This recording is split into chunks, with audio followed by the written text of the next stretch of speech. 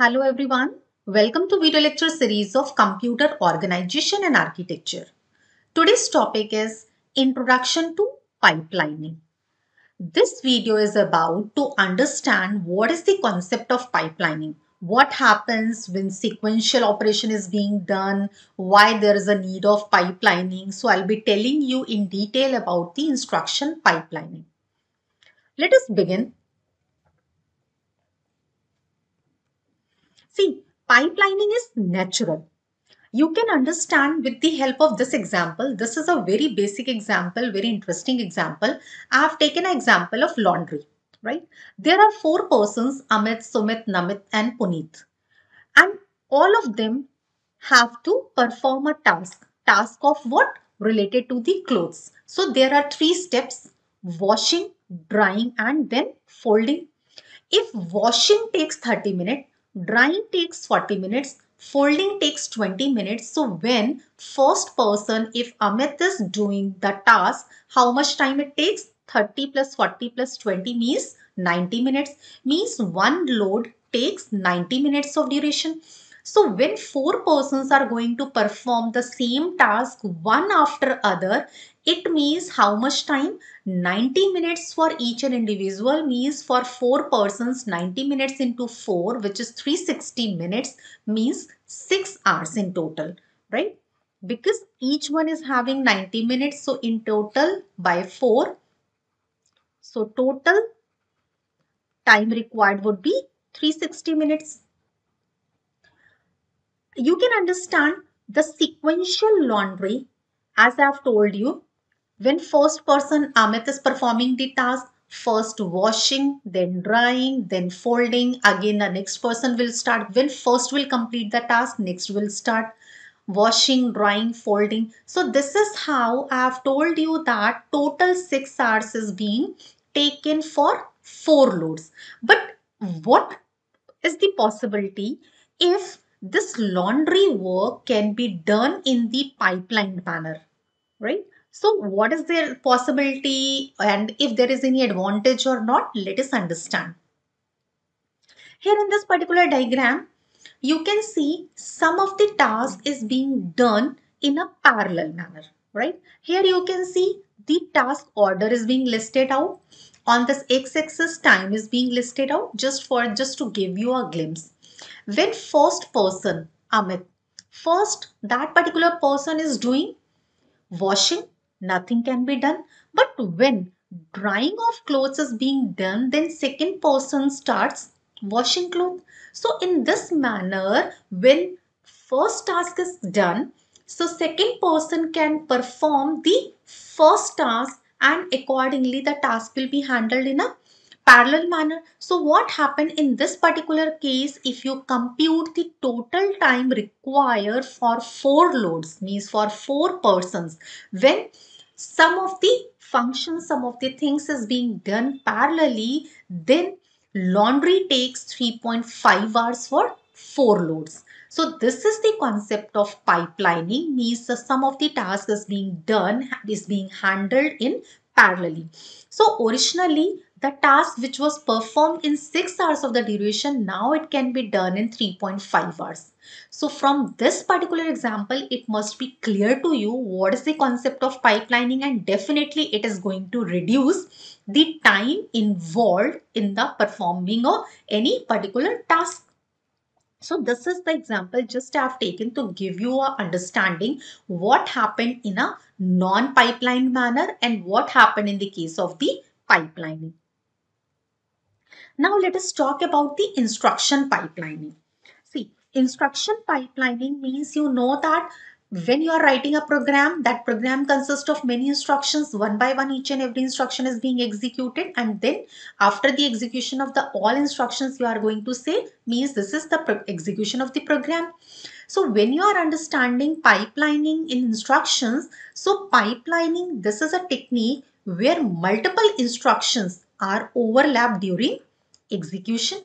So pipelining it can be understood in a uh, like manner where there is a large diagram means uh, the overall diagram or the overall task is being divided into stages and all the stages are connected with one after other. That is why it is going to form a pipe-like structure and the because of this, this particular concept is known as the concept of pipelining. So when you are observing a pipeline structure means stages are connected one after other means instruction will enter from one end and it will exit from other end. So you can see instruction will enter from here and you'll be getting the output at this end. And the purpose of pipelining is to increase the overall instruction throughput. This is the important factor because of the concept of pipelining arises and pipelining is being used. So you can see many stages over here and first stage is being connected with the second, second is being connected with the third. That is what you can see a pipeline kind of structure. So here you can see each segment. You can see this is a one segment, right? This is one segment. It consists of a input register followed by a combinational circuit. The purpose, the function of register is to hold the data and the combinational circuit is used to perform the operations, arithmetical logical operations. And the output of combinational circuit is applied to the input register right? This is what you can observe in this particular circuit. This is what you can see. So there is one more uh, very interesting example of pipelining which can be uh, observed in modern day assembly line setup in factories. So what happened uh, for example uh, if we talk about car manufacturing industry right? So there is a huge assembly line and that huge assembly line are set up at each and every point and there are robotic arms to perform certain tasks and then car moves on ahead to the next term. So accordingly one by one function is going to be performed and finally the entire task will be done. Here you can see there is a subtask of the instruction. Any instruction in any process that can be divided into five subtasks. The subtasks are instruction fetch, instruction decode, op operand fetch, instruction execute and operand store. This five step, five subtasks can be viewed in terms of the RISC structures also, RISC processors also. So instruction fetch is what? Instruction is fetched. Then fetched instruction is decoded at the second stage. Now in the third stage, operand of the instruction is fetched and Finally, during the instruction execution, arithmetic and logical operation is performed on the operand so that the instruction is executed. And in the last, result is stored in the memory, operand store. So result is stored in the memory. So as I have told you that one instruction process is divided into subtasks. So let us understand in this particular diagram, you can see pipelining of five instructions. So five instructions, instruction one, two, three, four, five instructions is being taken as an example.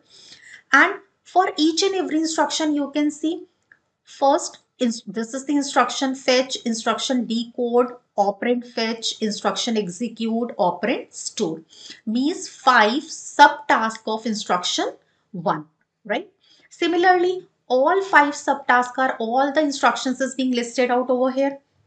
But what is happening when instruction is fetched, first instruction is fetched in T0 cycle.